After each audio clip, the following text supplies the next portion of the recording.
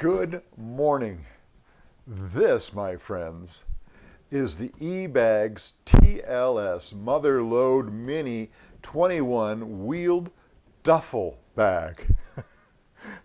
quite a quite a mouthful. And I'm here today to tell you why I think this is maybe the best carry-on that you can buy. Hi, I'm Arnie, and here we talk travel. We talk travel accessories. We talk camera gear. If you're into any of that, why don't you consider subscribing? Just click that big red subscribe button down below. And don't forget, click that bell icon so you'll be notified whenever we put up new content. Oh, and by the way, make sure that you check the show notes down in the description so you can find out even more about this great bag. Now, a lot of reviewers will talk about a bag that they might have gotten and used, oh, maybe once, maybe twice.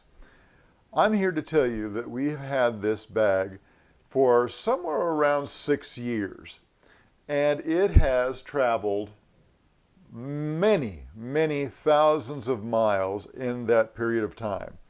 It has gone into through airports, airplanes, carry on, check in, trains,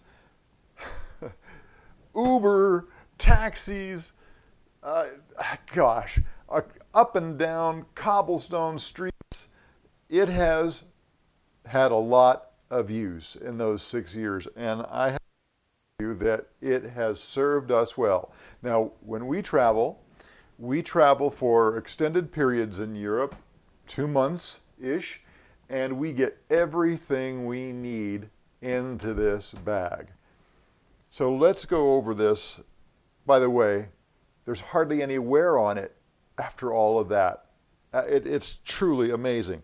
So let's, let's get into this. The exterior dimensions of this bag are 21.5 by 15 by 9. Interior, obviously, is going to be a little bit smaller, 20.5, so an inch shorter. It's 13.5 by 8.5. So not much difference. The exterior is a heavy duty nylonish kind of, I don't know exactly what it is, but it's some kind of nylon. And on the bottom of it, the back of it, I guess you would say, is this heavy duty um, shell of some kind. I'm not exactly sure what it's made of either, but it's got a nice feel to it here. Nice imprinted e-bags down the middle of it. It's solid. If you look closely enough, you might even be able to see some of the scratches. Like I said, this has gone, this has really, you know, stood the test of time going up and down stairs, inside, outside. So, taking a look, you have one small pocket on top. Actually, let me start out with even smaller one. Right up top, here's this tiny little one. Inside, it has a little belt for attaching, boy, it doesn't want to come out of there, for attaching uh, external bags. Okay, there it is. Nice little buckle. I've never used it to be honest with you. That's why it's probably so stiff coming out of there. Then you've got this next one down that looks like it's about a foot across, about five, six inches. It's not very deep, um, but it's good for putting things that you need to get to quickly. Passports, possibly. Uh, I've had headphones in here, a variety of different little things. So that's pocket number two. Then also on the outside, you've got this pocket that's kind of hidden in the seam here. Opens up, goes inside this. This is pretty substantial. Again, you know, what, what you put into these is going to be your choice, obviously. A lot of travel documents here. Maybe you uh, have a paperback book, your magazines, any number of things can go into this thing. Additionally, you have this pocket, and it opens up into the main compartment. It folds down, and you can see that it goes all the way down, depending on how you want it. This part here divides the bottom and the top part of the bag. It also has tie down strap here. Inside the lid, you've got this mesh lining, again, for whatever you want it to be used for. Dirty laundry, who knows? It's your choice. Continuing on the outside of the bag, one of the things that makes this a great bag to use is the number of grip handles that you have. You've got one here so that you can grab it uh, on the flat front here. You've got another handle up at the top up here. And this part right down here is not just to balance the um, bag when it's standing up. This is also a grip handle. Lots of lots of places to hold this and get it up. I was just noticing you might be able to see here. I'm not sure, it's pretty small, but there's some wear and tear here. This is not a new bag. Little place over here for your, you know, ID if you want to do that.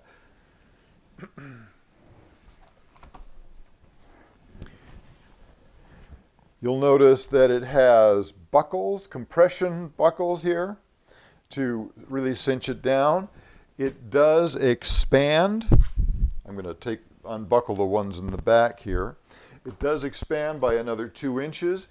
Again, that's something that we don't use that often because we're trying to make this as compact as possible to get into planes and what have you. But when we're on a road trip driving around Europe or wherever, then we do just let it just let it hang out.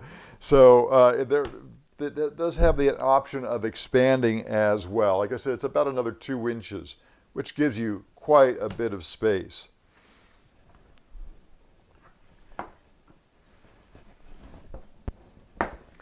The handle has multiple, this is going to go off the screen here, has a, about three, I believe, different yeah, about three different lengths. Now, let me share with you, I've mentioned this in other videos. I'm six foot eight, and this bag works great for me. The handle goes out long enough where I am not kicking my heels against this bag as it's trailing behind me. My wife is five five.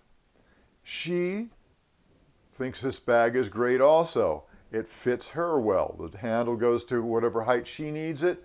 It's perfect. Now, if you're taller than six foot eight, then it may not work for you.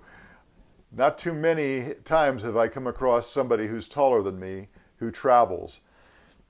So, of course, if you're an NBA player, you may not be interested in this. All right, so anyway, there you have um, the exterior. I can't think of anything else that, out, that we need to talk about out here. So let's open this up and look inside.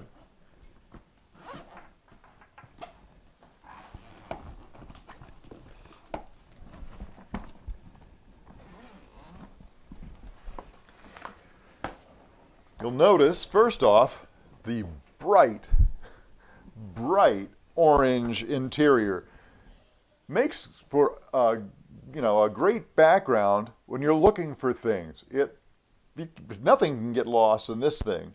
So this part closes off the upper part of it. It easily zips.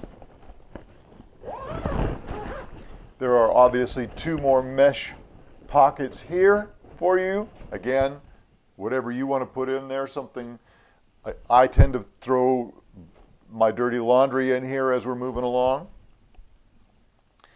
The um, kind of unique feature of this is that there is this shelf that is comes along with it and is held in by Velcro. you'll notice that even I, with my size 16s, can get my shoes across this way. Now I did this for you so you could see how it works. I can't do this because I put in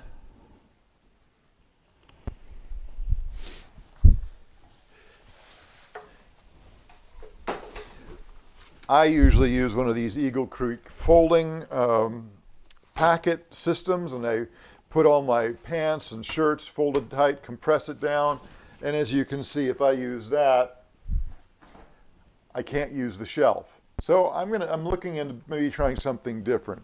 But for most people, this is going to be an absolutely great system for getting a pair of shoes in here and the kind of out of the way, and, uh, and then you can put your um, packing cubes or however you pack down here and over here.